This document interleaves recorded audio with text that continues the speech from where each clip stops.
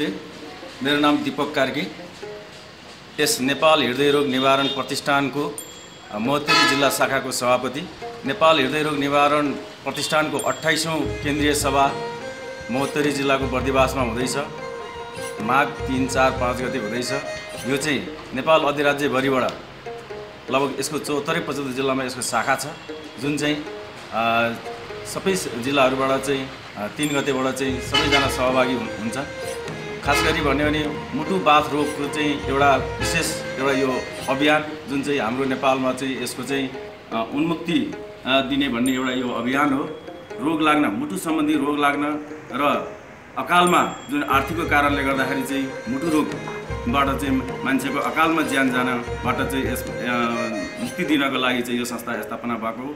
यो संस्था चाहिँ दुई हजार पैँतालिस सालमै स्थापना भएको संस्था हो। जुन चाहिँ जुन बेला नेपालमा एउटा मुटु रोग सम्बन्धी चाहिँ उपचार गर्नलाई त्यो किसिमको एउटा प्रविधि थिएन र त्यो किसिमको एउटा विकास थिएन। र यही संस्थाले चाहिँ तपाईँको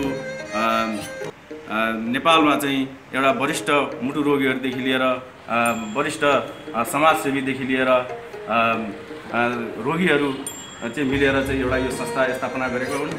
जुन चाहिँ यही संस्थाको टिमद्वारा नै गङ्गालाल हस्पिटल पनि तपाईँको स्थापना भएको हो दुई हजार पचपन्न सालमा।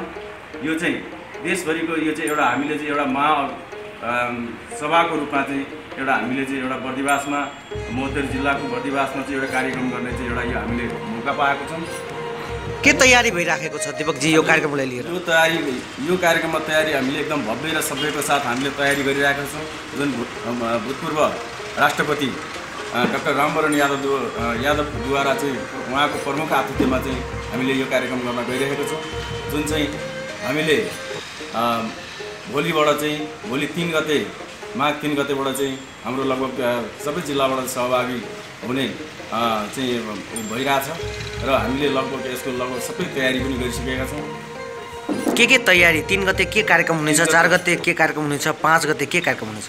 तिन गते चाहिँ हाम्रो तिन गते तिन बजेदेखि चाहिँ हाम्रो स्वस्थ मुटु स्वस्थ जीवन भन्ने एउटा डाक्टर प्रकाश राज रेग्मीद्वारा चाहिँ अन्तर्क्रिया कार्यक्रम राखेका छौँ। यसमा चाहिँ हामीले मुटु रोगीदेखि लिएर हरेक बर्दिवास आम भेला गरेर चाहिँ मुटु स्वस्थ मुटु राख्नलाई चाहिँ के गर्नुपर्छ भन्ने कुरोहरू चाहिँ डाक्टर प्रकाश राज रेग्मीद्वारा चाहिँ अन्तर्क्रिया कार्यक्रम छ प्रवचन छ। त्यस्तै गरी त्यसपछिको चाहिँ हामीले मधुरी जिल्ला शाखाको चाहिँ कार्य समिति र केन्द्रसँग चाहिँ बसेर छलफल गर्ने कार्यक्रम छ। तिन गते चार गते बिहान छ बजे छदेखि सात बजेसम्म चाहिँ योग अभ्यास छ। त्यसपछि सात बजे सात बजे चाहिँ हामीले प्रभात फेरि राखेका छौँ। स्वस्थ मुटु स्वस्थ जीवन नाराको साथ हामीले चाहिँ प्रभात फेरि राखेको छौँ। यसमा चाहिँ हामीले आम जनसमुदायलाई चाहिँ हामीले चाहिँ त्यस कार्यक्रममा चाहिँ सहभागी भइदिन भनेर हामीले अनुरोध पनि गरिरहेका छौँ। त्यस्तै गरी त्यसपछि नौ बजे चाहिँ हाम्रो बन्द सत्र चाहिँ हाम्रो कार्यक्रमको चाहिँ सुरु हुन्छ। त्यस्तै गरी तिन बजे हाम्रो प्रमुख अतिथिद्वारा चाहिँ हाम्रो खुल्ला सत्र हाम्रो कार्यक्रम उद्घाटन सत्र चाहिँ हाम्रो सुरु हुनेछ चार गते तिन तिन बजे। यसमा चाहिँ सम्पूर्णलाई चाहिँ सहभागी भइदिनु हुन र हाम्रो सदस्यहरूलाई पनि सम्पूर्णलाई चाहिँ सहभागी हुनु भइदिनलाई चाहिँ म विनम्र अनुरोध पनि गर्दछु। अनि अहिले जुन बाथका रोगीहरू मुटुका रोगीहरू बढिरहेका छन् ठाउँको ठाउँ मान्छेको ज्यान गइराखेको छ। अब यो नेपाल हर्ट फाउन्डेसनले यसलाई लक्षित गरेर महोत्तरीमा के के कार्यक्रम ल्याउँदैछ? यसमा हामीले पहिला सुरु त हामीले यसमा यही यही समयमा चाहिँ एउटा क्याम्प पनि राखौँ भनेर हामीले सोच पनि बनाइराखेका थियौँ। जुन कि त्यस्तो ठाउँ त्यहाँ त्यस्तो रोगीहरूको चाहिँ एउटा लक्षित एरिया हामीले गरेर चाहिँ कार्यक्रम गरौँ भनेर सोचेको थियौँ। जुन मौसमको कारणले गर्दा चिसोको कारणले गर्दाखेरि चाहिँ हामीले अहिले ठ्याक्कै यही टाइममा चाहिँ गर्न सकेनौँ। र यसमा चाहिँ हामीले तिन गते हामीले यो विषयमा चाहिँ हाम्रो छलफल पनि हुनेछ।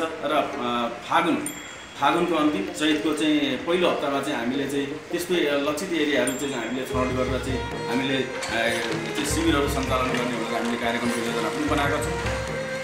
त्यस्तै गरी चार गते नौ बजेदेखि एक बजेसम्म जुन स्पेसल मुटु रोग मुटु बाथ रोगको चाहिँ त्यस्तो बिरामीहरू हुनुहुन्छ भनेदेखि शुभ स्वस्ति हस्पिटलमा चाहिँ हामीले चाहिँ चेकअपको लागि चाहिँ हामीले एउटा नि शुल्क चेकअपको लागि चाहिँ हामीले एउटा डक्टरसँग हामीले त्यो किसिमको चाहिँ कार्यक्रम पनि मिलाएका छौँ।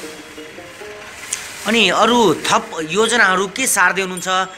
जुन अठाइसौँ जुन तपाईँको महासभा हुँदैछ हट फाउन्डेसनको महोत्तरीको बर्दिवासमा देशैभरिका मानिसहरू यहाँ आइराखेका छन् बर्दिवासले के माग गर्नेछ त्यो सभामा?